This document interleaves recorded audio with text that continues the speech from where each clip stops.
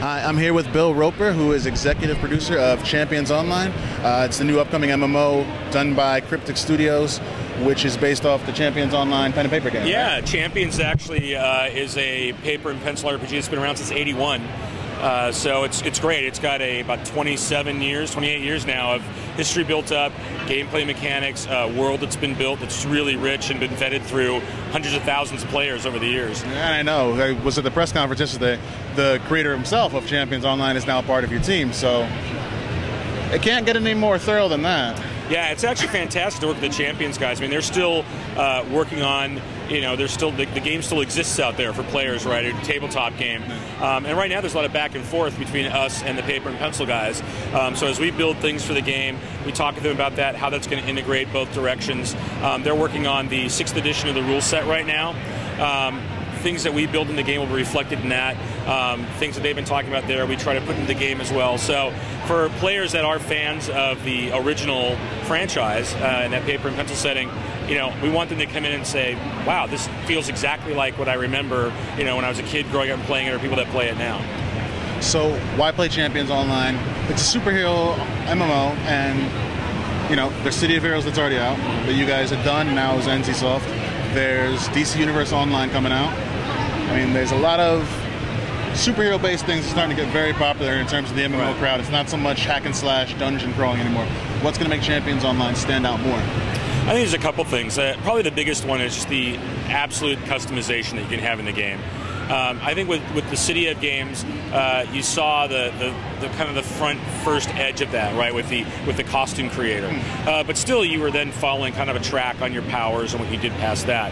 Um, with Champions Online, uh, not only do you get to completely customize and choose all the elements of your costume and colors and all those things, uh, but you do the same types of things with your powers. That's a really big deal. That was that was a huge part of uh, I think what made the paper and pencil game so appealing and so unique when it first came into existence in the 80s um, was the fact that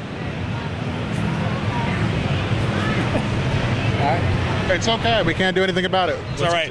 That is why we were at Comic Con. So people can walk in front of the camera. It's the Yes. best part.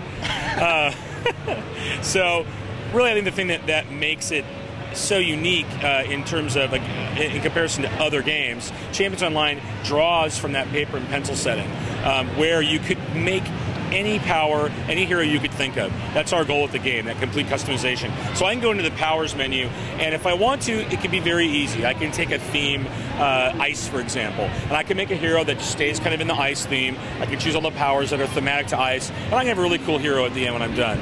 But if I'm more of a someone likes to get in the you know nuts and bolts and really dig in and make exactly this very specific character I have in my head, I can go ahead, open up the whole power system, um, and and really like I will say like every power in the game laid out in front of me and say oh, I want to use this and choose that, you know, pick these different elements of it and really build that hero that I want. Um, then I can further customize that uh, by actually choosing, uh, depending on what the power is, emanation points and, and hue for the, the power. So, for example, um, if I had uh, an energy bolt that maybe is normally red and comes out of my, my hand on my character, I could say, yeah, but I, I'm kind of building a big powered armor guy, and on the costume I'm building, I've got this giant chest cannon. Well, that's really cool. So I want to actually set that area uh, as the emanation point.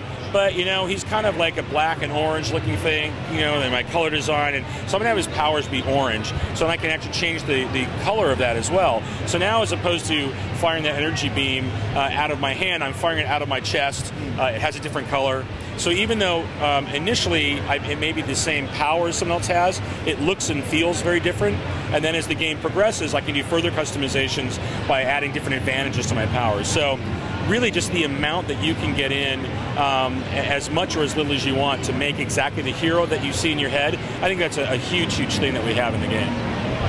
So at the get-go, you're not going to be able to play as villains. You're just going to be heroes. Right. Um, though you do get to make your own villain. Make your own arch villain. I saw that at the press conference yesterday, and I thought that was a pretty cool idea. So you're going to basically, is it going to be when you make your hero at the beginning of the game, or you're going to get a specific quest, and then you're going to go back and make your arch villain who is going to be someone you face in a set of quests, or Yeah, actually, the way the uh, Nemesis system works is uh, uh, after you've made your, your hero and played for a while, um, and then you've kind of established your reputation within the world and those types of things, um, then you'll have the opportunity to go in and identify your nemesis. Um, and basically, that puts you back into a character creator um, that's designed for the Nemesis system, where again you're completely choosing the look of your villain, you're uh, choosing his power themes, you're picking his minions, you're um, figuring out you know what what his, his motivations are. So you're choosing a lot of parameters um, for your Nemesis, and then what you do with that uh, is he goes into his own storyline that becomes now part of your character's story and what your character goes through.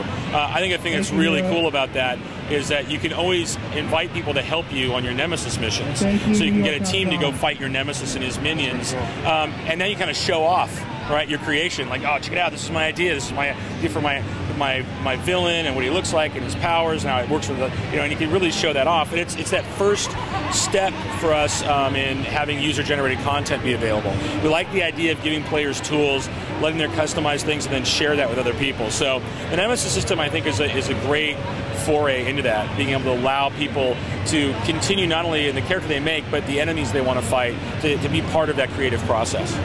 I mean, my first thought when I heard that Nemesis system was like almost end game content because you figure what would be bigger for a hero than the final battle with their arch nemesis? I mean, would it be something like that, or would you, do you, I guess, have specific in-game content already kind of planned? Um, like? it, it, that there is in-game content planned, but that is a part of it. The Nemesis is definitely a part of in-game content. I think that you know that's that's kind of what you see if you think about all the classic comic stories.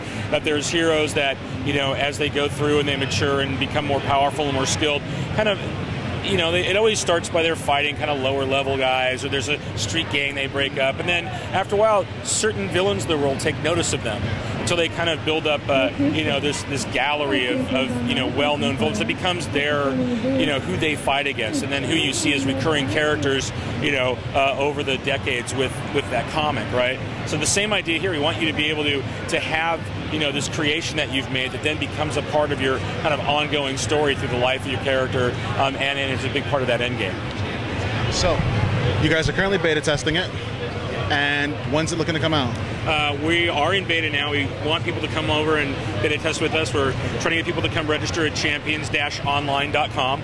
Uh, get registered, jump into beta, and we're coming out uh, spring of 09. So, right, so right around the corner. Not too long at all. Um, any other plans for the future, though?